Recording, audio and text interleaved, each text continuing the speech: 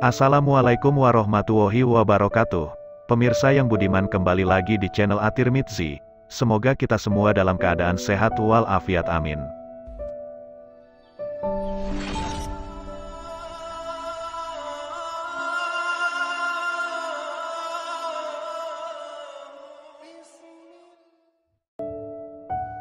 Dalam lembaran sejarah Islam, setiap abad kita akan menemukan tokoh besar yang mendapatkan status mujadid. Ini sesuai dengan hadis Rasul yang menyatakan bahwa setiap 100 tahun, Allah akan mengirimkan pembaru di kalangan umat Islam. Sunan Abu Daud, Jilid 2, 424. Jika mujadid Islam pada abad ke-11 Masehi atau 5 Hijriah adalah Imam Al-Ghazali dan mendapat julukan Hujatul Islam, karena keberhasilannya menggabungkan syariat dan torekot secara teoritis, Mutiara sejarah abad ke-12 Masehi atau 6 Hijriah diduduki oleh seorang ulama yang berhasil memadukan antara syariat dan sufisme secara praktis dan aplikatif. Karena itu, beliau mendapat julukan Kutubul Aulia, serta Gausul Azam, orang suci terbesar dalam Islam, beliau adalah Syekh Abdul Qadir Al-Jailani.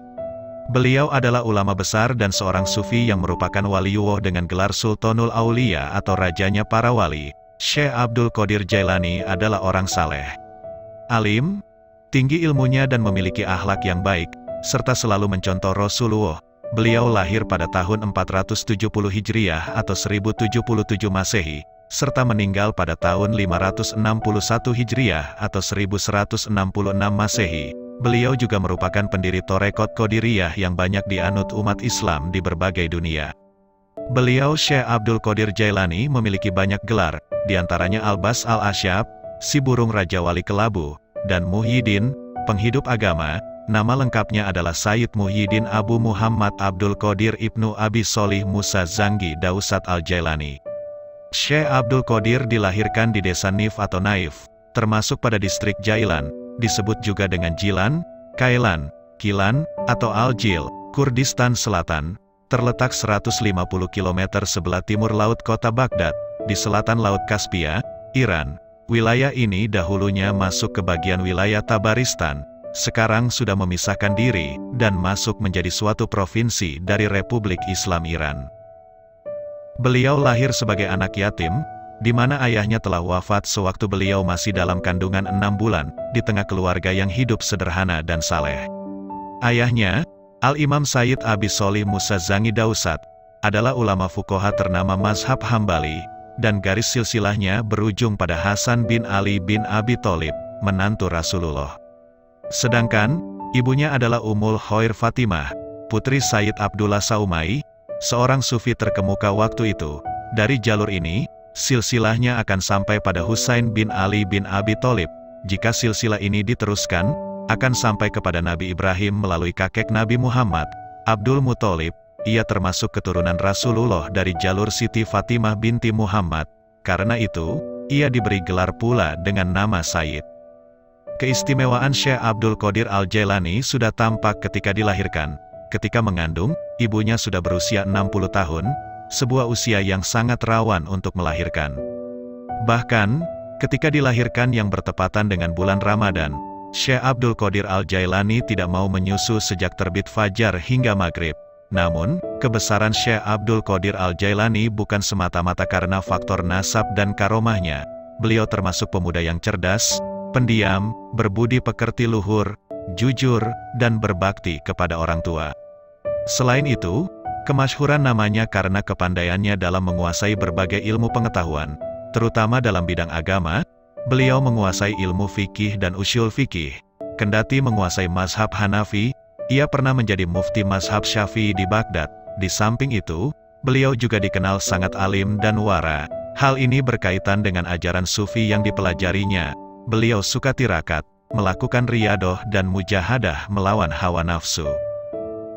Dan seperti kebanyakan para wali Allah, Syekh Abdul Qadir Jailani juga memiliki banyak sekali keistimewaan dan kehebatan melebihi manusia lain pada umumnya. Hal inilah yang disebut dengan karomah. Dengan karoma tersebut seorang waliullah bisa melakukan hal-hal yang cenderung mustahil dan di luar logika berkat izin Allah. Dan salah satu ulama paling banyak memiliki karoma salah satunya adalah Syekh Abdul Qadir Jailani ini. Maka dari itu kali ini akan kita bahas mengenai kumpulan kisah karomah Syekh Abdul Qadir Jailani. Semua manakib dan cerita keajaiban, kesaktian dan kehebatan di bawah ini bisa terjadi karena kemuliaan Syekh Abdul Qadir Jailani dan tentu saja semata-mata atas izin Allah Tuhan yang Maha Kuasa atas segala halnya. Yang pertama, Karomah Syekh Abdul Qadir Jailani dengan seekor ular pada suatu hari di majlis Syekh Abdul Qadir Al-Jilani beserta murid-muridnya yang lain. Tiba-tiba, muncul seekor ular besar di pangkuan As-Syaikh, maka orang ramai yang hadir di majlis itu pun berlari tunggang langgang, ketakutan.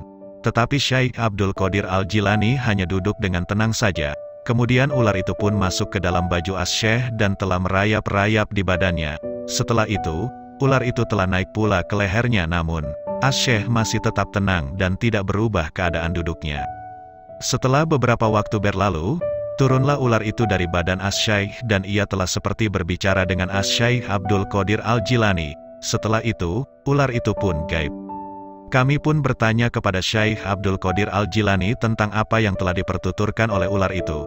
Menurut beliau ular itu telah berkata, bahwa dia telah menguji wali-wali Allah yang lain, tetapi dia tidak pernah bertemu dengan seorang pun yang setenang dan sehebat As-Syaikh Abdul Qadir Al-Jilani. Yang kedua, Karomah Syekh Abdul Qadir Jailani menghidupkan seekor burung. Pada suatu hari, ketika Asyeh sedang mengajar murid-muridnya di dalam sebuah majlis, seekor burung telah terbang di udara di atas majlis itu sambil mengeluarkan satu bunyi yang telah mengganggu majlis itu. Maka Syekh Abdul Qadir Al-Jilani pun berkata, Wahai angin, ambil kepala burung itu, seketika itu juga, burung itu telah jatuh ke atas majlis itu, dalam keadaan kepalanya telah terputus dari badannya. Setelah melihat keadaan burung itu, Syekh Abdul Qadir Al-Jilani pun turun dari kursi tingginya dan mengambil badan burung itu, lalu disambungkan kepala burung itu ke badannya. Kemudian Syekh Abdul Qadir Al-Jilani telah berkata, Bismillahirrohmanirrohim, dengan serta-merta burung itu telah hidup kembali dan terus terbang dari tangan As-Syaikh, maka takjublah para hadirin di majlis itu karena melihat kebesaran Allah yang telah ditunjukkannya melalui tangan As-Syaikh. Yang ketiga, Karomah Syekh Abdul Qadir Jailani mengembalikan wanita yang diculik bangsa jin.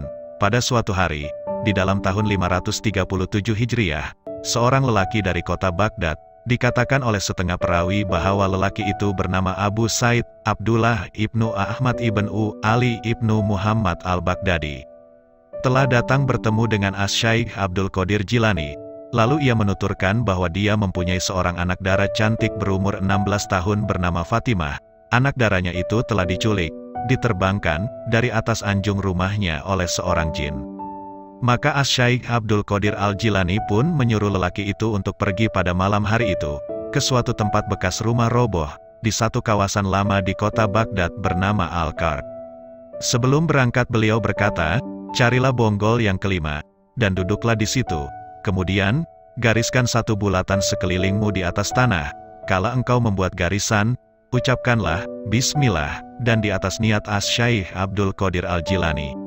Apabila malam telah gelap, engkau akan didatangi oleh beberapa kumpulan jin, dengan berbagai-bagai rupa dan bentuk, janganlah engkau takut, apabila waktu hampir terbit fajar, akan datang pula Raja Jin dengan segala angkatannya yang besar. Dia akan bertanya hajatmu, katakan kepadanya bahwa aku telah menyuruh engkau datang bertemu dengannya. Kemudian ceritakanlah kepadanya tentang kejadian yang telah menimpa anak perempuanmu itu. Lelaki itu pun pergi ke tempat itu dan melaksanakan arahan Asyaih Abdul Qadir Al-Jilani itu. Lalu beberapa waktu kemudian, datanglah jin-jin yang mencoba menakut-nakuti lelaki itu. Tetapi jin-jin itu tidak berkuasa untuk melintasi garis bulatan itu. Jin-jin itu telah datang bergilir-gilir, yakni satu kumpulan selepas satu kumpulan. Dan akhirnya, Datanglah Raja Jin yang sedang menunggang seekor kuda dan telah disertai oleh satu angkatan yang besar dan hebat rupanya. Raja Jin itu telah memberhentikan kudanya di luar garis bulatan itu dan telah bertanya kepada lelaki itu, Wahai manusia, apakah hajatmu? Lelaki itu telah menjawab, Aku telah disuruh oleh Asyaikh Abdul Qadir Al-Jilani untuk bertemu denganmu. Begitu mendengar nama Asy Syaikh Abdul Qadir Al-Jilani diucapkan oleh lelaki itu, Raja Jin itu telah turun dari kudanya dan terus mengucup bumi. Kemudian Raja Jin itu telah duduk di atas bumi, disertai dengan seluruh anggota rombongannya. Sesudah itu, Raja Jin itu telah bertanya mengenai masalah lelaki itu. Lelaki itu pun menceritakan kisah anak darahnya yang telah diculik oleh seorang jin. Setelah mendengar cerita lelaki itu, Raja Jin itu pun memerintahkan agar dicari si jin yang bersalah. Beberapa waktu kemudian, telah dibawa ke hadapan Raja Jin itu, seorang jin lelaki dari negara Cina bersama-sama dengan anak gadis yang telah diculiknya. Raja Jin itu telah bertanya, Kenapakah engkau sambar anak gadis manusia ini? Tidakkah engkau tahu bahwa dia ini berada di bawah naungan Al-Kutub? Jin lelaki dari negara Cina itu telah mengatakan bahwa dia telah jatuh cinta dengan anak gadis manusia itu. Raja Jin itu pula telah memerintahkan agar memulangkan anak gadis itu kepada bapaknya. Dan Jin dari negara Cina itu pula telah dikenakan hukuman pancung kepala. Lelaki itu pun mengatakan rasa takjubnya dengan segala perbuatan Raja Jin itu, yang sangat patuh kepada As-Syaikh Abdul Qadir Al-Jilani, Raja Jin itu pun berkata, Sudah tentu, karena As-Syaikh Abdul Qadir Al-Jilani boleh melihat dari rumahnya semua kelakuan jin-jin yang jahat, dan mereka semua sedang berada di sejauh-jauh tempat di atas bumi, karena telah lari dari sebab kehebatannya, Allah Ta'ala telah menjadikan As-Syaikh Abdul Qadir Al-Jilani bukan saja Al-Kutub bagi umat manusia, bahkan juga atas seluruh bangsa jin. Yang keempat, Karoma Syekh Abdul Qadir Jailani membantu seorang wali. Diriwayatkan, pada zaman Syekh Abdul Qadir, ada seorang wali yang telah dilepas pangkat kewaliannya. Kemudian ia minta pertolongan kepada rekan-rekannya sesama wali memohon kepada Allah, agar ia dapat diangkat kembali mendapatkan pangkat kewaliannya. Wali rekannya itu berkata, saya sudah berusaha berdoa memohon kepada Allah, agar dapat diangkat kembali pangkat kewalianmu, Bahkan menurut anggapan saya persoalan ini tidak diterima oleh Allah, dan saya dianjurkan sebaiknya meminta pertolongan dan syafaat Syekh, supaya beliau berdoa memohon kepada Allah, agar dapat dikembalikan pangkat kewalianmu itu. Kemudian Syekh dapat menerima usulan mereka, lalu beliau berdoa. Sementara itu datang sabda Allah, sudah banyak para wali yang berdoa, mereka memohon supaya dikembalikan lagi pangkat seorang wali yang sudah dicopot itu, untuk hal ini kamu jangan minta syafaat baginya. Mendengar sabda itu lalu Syekh mengambil sajadah berangkat menuju suatu lapangan. Pada waktu beliau akan melangkahkan kaki, terdengar ada yang memanggil dari alam goib, Wahai Gautsul Adom Abdul Qadir, bagi orang itu dan seribu orang yang senasib dengan dia, ku ampuni dosanya. Dan langkah kaki yang kedua terdengar lagi suara yang bersabda, bagi orang itu dan 2000 orang yang senasib dengan dia, dan pada waktu akan memijakkan langkah kaki yang ketiga kembali terdengar, bagi dia dan 3000 orang yang senasib dengan dia, dosanya ku ampuni, disebabkan karena pangkat kewalianmu dan kedudukanmu. Syekh mengucapkan terima kasih kepada Allah, atas anugerah yang telah diterima, berkat karomah dan syafaat Syekh, wali yang dilepas pangkatnya itu dapat diterima kembali. Yang kelima, Karoma Syekh Abdul Qadir Jailani mengalahkan perompak dari jauh. Pada tiga hari bulan Safar, kami berada di sisi As-Syaikh Abdul Qadir Al-Jilani. Pada waktu itu, As-Syaikh sedang mengambil wudhu dan memakai sepasang terompah atau bakiak. Setelah selesai menunaikan sholat dua rakaat, beliau kemudian berbalik dengan tiba-tiba, dan telah melemparkan salah satu dari bakiak-bakiak itu dengan sekuat tenaga sampai tak nampak lagi oleh mata. Selepas itu beliau berbalik lagi, kami yang berada di situ telah melihat dengan seksama, tetapi tidak ada seorang pun yang berani menanyakan maksud semua itu. 23 hari kemudian, sebuah kafilah telah datang untuk menziarahi As-Syaikh Abdul Qadir Al-Jilani. Mereka, yakni para anggota kafilah itu, telah membawa hadiah-hadiah untuknya, termasuk baju, emas dan perak, dan yang anehnya, termasuk juga sepasang bakiak. Apabila kami amat-amati, kami lihat bakiak-bakiak itu adalah bakiak-bakiak yang pernah dipakai oleh Asyaih Abdul Qadir Al-Jilani pada satu masa dahulu. Kami pun bertanya kepada ahli-ahli kafilah itu, dari manakah datangnya sepasang bakiak itu. Kemudian mereka bercerita, bahwa pada tiga hari bulan safar yang lalu, ketika kami sedang di dalam satu perjalanan, kami telah diserang oleh satu kumpulan perompak. Mereka telah merampas semua barang-barang yang kami bawa, dan mereka telah membagi barang-barang rampasan tersebut. Lalu kami pun berdiskusi dan telah mencapai satu keputusan. Kami lalu menyebut nama As-Syaikh Abdul Qadir Al-Jilani agar menolong kami. Kami juga telah bernazar apabila kami sudah selamat, kami akan memberinya beberapa hadiah. Tiba-tiba, kami terdengar satu jeritan yang amat kuat. sehingga menggegarkan lembah itu dan kami lihat di udara ada satu benda yang sedang melayang dengan sangat cepat sekali. Beberapa waktu kemudian, terdengar satu lagi bunyi yang sama dan kami lihat satu lagi benda tadi yang sedang melayang ke arah yang sama. Selepas itu, kami telah melihat perompak-perompak itu berlari tunggang langgang dari tempat mereka saat sedang membagi-bagikan harta rampasan itu, dan telah meminta kami mengambil balik harta kami, karena mereka telah ditimpa satu kecelakaan. Kami pun pergi ke tempat itu, kami lihat kedua orang pemimpin perompak itu telah mati. Di sisi mereka pula, ada sepasang bakiak, inilah bakiak-bakiak itu.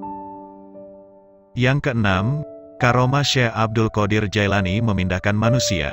Pada mulanya aku memang tidak suka kepada Asyaih Abdul Qadir Al-Jilani, walaupun aku merupakan seorang saudagar yang paling kaya di kota Baghdad waktu itu, aku tidak pernah merasa tentram ataupun berpuas hati. Pada suatu hari, aku telah pergi menunaikan sholat Jumat. Ketika itu, aku tidak mempercayai tentang cerita-cerita karomah yang dikaitkan pada Asyaih Abdul Qadir Al-Jilani. Sesampainya aku di masjid itu, aku dapati beliau telah ramai dengan jamaah. Aku kemudian mencari tempat yang tidak terlalu ramai, dan kudapati betul-betul di hadapan mimbar. Di kala itu, Asyaih Abdul Qadir Al-Jilani baru saja mulai untuk khutbah Jumat, ada beberapa perkara yang disentuh oleh Asyaih Abdul Qadir Al-Jilani yang telah menyinggung perasaanku. Tiba-tiba, aku merasa hendak buang air besar. Untuk keluar dari masjid itu memang sukar dan agak mustahil, dan aku dihantui perasaan gelisah dan malu. Takut-takut aku buang air besar di sana di depan orang banyak, dan kemarahanku terhadap Asyaih Abdul Qadir Al-Jilani pun bertambah dan memuncak. Pada saat itu, Asyaikh Abdul Qadir Al-Jilani telah turun dari atas mimbar itu dan telah berdiri di hadapanku. Sambil beliau terus memberikan khutbah, beliau telah menutup tubuhku dengan jubahnya. Lalu tiba-tiba aku sedang berada di satu tempat yang lain, yakni di satu lembah hijau yang sangat indah. Aku lihat sebuah anak sungai sedang mengalir perlahan di situ dan keadaan sekelilingnya sunyi sepi, tanpa kehadiran seorang manusia. Kemudian aku pergi membuang air besar. Setelah selesai, Aku mengambil wudhu, kemudian aku berniat untuk pergi dan sholat, dan tiba-tiba diriku telah berada di tempat semula di bawah jubah Asyaih Abdul Qadir Al-Jilani. Dia telah mengangkat jubahnya dan menaiki kembali tangga mimbar itu. Aku sungguh-sungguh merasa terkejut, bukan karena perutku sudah merasa lega, tetapi juga keadaan hatiku, segala perasaan marah, ketidakpuasan hati, dan perasaan-perasaan jahat yang lain, semuanya telah hilang. Selepas sembahyang Jumat berakhir, aku pun pulang ke rumah, di dalam perjalanan. Aku menyadari bahwa kunci rumahku telah hilang, dan aku kembali ke masjid untuk mencarinya. Begitu lama aku mencari, tetapi tidak aku temukan, terpaksa aku menyuruh tukang kunci untuk membuat kunci yang baru. Pada keesokan harinya, aku telah meninggalkan Baghdad dengan rombonganku karena urusan perniagaan, tiga hari kemudian, kami telah melewati satu lembah yang sangat indah, seolah-olah ada satu kuasa ajaib yang telah menarikku untuk pergi ke sebuah anak sungai. Barulah aku teringat bahwa aku pernah pergi ke sana untuk buang air besar. Beberapa hari sebelum itu aku mandi di anak sungai itu. Ketika aku sedang mengambil jubahku, aku telah temukan kembali kunciku, yang rupanya telah tertinggal dan telah tersangkut pada sebatang dahan di situ. Setelah aku sampai di Baghdad, aku menemui Asyaikh Abdul Qadir Al-Jilani dan menjadi anak muridnya. Sungguh besar kekuasaan Allah, dengan menunjukkan rahasia dan karomah para walinya.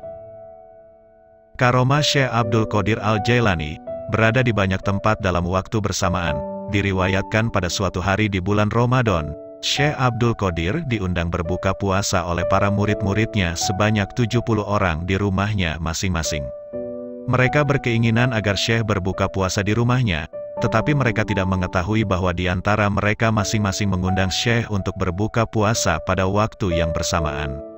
Lalu tiba pada waktunya berbuka puasa bertepatan Syekh berbuka puasa di rumah beliau, detik itu pula rumah para murid-muridnya yang 70 orang itu, masing-masing dikunjunginya dan berbuka puasa tepat dalam waktu yang bersamaan.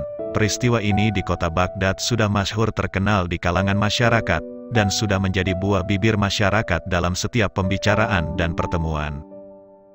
Karoma Syekh Abdul Qadir Jailani yang selanjutnya, menyelamatkan wanita dari pria fasik, diriwayatkan, di kota Baghdad ada seorang wanita rupawan, wajahnya cantik dan manis oleh setiap mata yang memandangnya. Sebelum ia masuk jamaah murid Syekh Abdul Qadir, ada seorang lelaki fasik, hidung belang, dan tuna susila, dia menaruh cinta dan mengharap pada wanita itu, namun cintanya tidak dibalas, cintanya bertepuk sebelah tangan. Si lelaki jahat itu berusaha mencari jalan untuk melaksanakan niat jahatnya itu.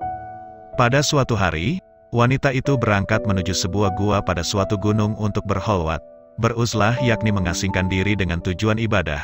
Dia tidak tahu, bahwa saat itu ia sedang diintai dan diikuti dari belakang oleh si lelaki jahat itu. Ketika wanita itu tiba dan akan masuk ke dalam gua, si lelaki jahat itu berusaha dengan sekuat tenaga akan masuk ke dalam gua dan merebut kehormatan wanita itu. Sebaliknya, sang wanita berusaha menghindar dari nafsu angkara murka kejahatan si lelaki itu sambil berteriak-teriak memanggil-manggil nama Syekh Abdul Qadir, Ya Syekh Sakolein, Ya Gautsal Adom, Ya Syekh Abdul Qadir, tolonglah saya. Demikian ratap wanita bertawasul dan beristigosah meminta pertolongan. Dikala itu Syekh sedang mengambil air wudhu untuk melaksanakan sholat di madrasah, lalu dilepas bakiaknya. Sepasang bakiak itu dipegang Syekh lalu dilemparkan ke arah gua dan tepat sekali mengenai sasaran kepala lelaki jahat itu. Dikala laki-laki jahat itu akan melakukan aksinya, bertubi-tubi sepasang bakiak memukul, menamparkan laki-laki itu dengan pukulan-pukulan yang mematikan, dan seketika itu juga ia mati. Sang wanita segera mengambil sepasang bakiak milik Syekh, gurunya, kemudian ia mengucapkan terima kasih atas pertolongannya, lalu bakiak itu diserahkan sambil melaporkan peristiwa yang dialaminya kepada Syekh dan juga kepada halayak yang mengerumuninya. Karoma Syekh Abdul Qadir Jailani, membuktikan kepada pendeta bahwa Isra Miraj itu benar adanya. Pada masa itu ada seorang pendeta yang memiliki pengetahuan yang luas, tidak hanya mengetahui tradisi Yahudi dan Kristen, tetapi juga mengenai Islam, ia pun mengetahui kitab suci Al-Quran dan sangat menghargai Nabi Muhammad. Sebenarnya, pendeta itu ingin masuk Islam, hanya saja, ia masih meragukan satu hal yaitu bahwa Isro, Miroj Nabi Muhammad terjadi dengan raganya. Isro, Miroj itu terjadi ketika Nabi diperjalankan dari Makkah ke Yerusalem dengan jasad dan ruh beliau. Kemudian naik ke langit ketujuh serta menyaksikan banyak hal. Beliau melihat surga dan neraka, lalu bertemu dengan Allah, yang menyampaikan sembilan ribu kata. Saat pulang dari perjalanan itu, kasur Nabi belum mendingin dan daun yang tersentuh dalam perjalanan tersebut belum berhenti bergoyang. Sang pendeta tidak menerima peristiwa Isra Miraj itu dan segala yang disampaikan Nabi karena akalnya tidak dapat menerima fenomena serupa itu. Khalifah mengundang para bijak, dan para syaikh untuk meyakinkan si pendeta, namun tak ada satupun yang mampu. Kemudian pada suatu sore, ia memohon kepada Syaikh Abdul Qadir Al-Jailani untuk meyakinkan si pendeta mengenai kebenaran Isra, Miroj Nabi. Ketika Syaikh Abdul Qadir Al-Jailani datang ke istana, si pendeta dan khalifah tengah bermain catur. Saat pendeta mengangkat sebuah bidak catur, tiba-tiba matanya beradu pandang dengan Syaikh Abdul Qadir Al-Jailani, Si pendeta memejamkan matanya, ketika membuka mata, tiba-tiba ia berada di sebuah sungai dan dihanyutkan oleh alirannya yang deras. Ia berteriak minta tolong, lalu datanglah seorang penggembala kemudian melompat ke sungai dan menyelamatkannya. Ketika pemuda itu menyelamatkannya, ia sadar bahwa ia tidak berpakaian dan dirinya telah berubah menjadi seorang gadis, wanita. Si penggembala menghormati, menjaga dan melindunginya, namun karena tak ada tempat yang ditujunya, akhirnya si penggembala menikahinya, dan bahkan dari pernikahan itu mereka sampai memiliki tiga orang anak. Hitung kira-kira berapa waktu yang dibutuhkan untuk memiliki tiga orang anak, suatu hari, saat si istri, pendeta itu, mencuci pakaian di sungai yang menghanyutkannya beberapa tahun silam, ia tergelincir dan jatuh ke air. Ketika sadar dan membuka mata, ia dapati dirinya masih duduk di hadapan khalifah, memegang bidak catur dan masih bertatap pandang dengan Syaikh Abdul Qadir Al-Jailani. Lalu Syaikh Abdul Qadir Al-Jailani berujar kepadanya, Hai pendeta yang malang, apakah saat ini kau masih enggan mengakui? Si pendeta yang masih ragu dan menganggap apa yang dialaminya itu hanyalah mimpi, dan mengelak seraya menjawab, apa yang kau maksudkan, apakah engkau ingin berjumpa dengan anak dan suamimu? Tanya Syaikh Abdul Qadir Al-Jailani seraya membuka pintu, dan di depan pintu istana itu telah berdiri si penggembala dengan tiga orang anaknya, mengalami runtutan kejadian itu. Si pendeta langsung menyatakan keimanan dan mengakui kebenaran Miroj Nabi. ia dan jamaahnya yang berjumlah sekitar 5.000 orang akhirnya masuk Islam melalui Syekh Abdul